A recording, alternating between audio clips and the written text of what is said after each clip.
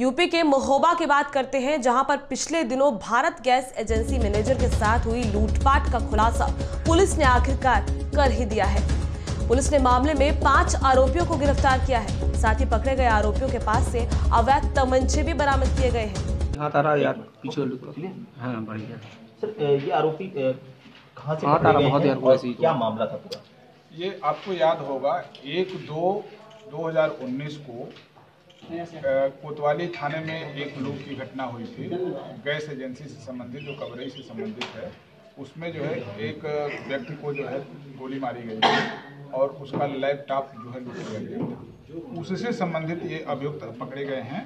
इसमें कालेश, भूपेंद्र, सत्यनारायण, संदीप और विकास जो हैं, ये पकड़े गए हैं। इनके जो है कब्जे से लैपटॉप बरामद हुआ और तीन कट्टे और कारतूस बरामद हुए। इसको बरामद करने में हमारी टीम जो है कोतवाली और एसओजी टीम ने जो है, स्वाट टीम ने जो है गिरफ़्तार किया है इसके लिए जो है, डीआईजी साहब ने जो है, पंद्रह हज़ार रुपये जो है इनाम जो है, घोषित किया।